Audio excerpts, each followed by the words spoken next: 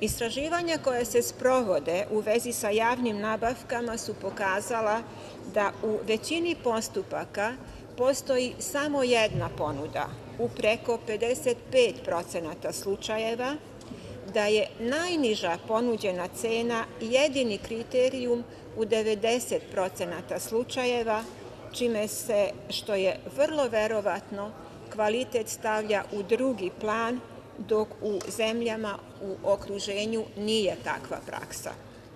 Takođe, izveštaji DRI govore o brojnim nepravilnostima u vezi sa sprovedenim postupcima javnih nabavki.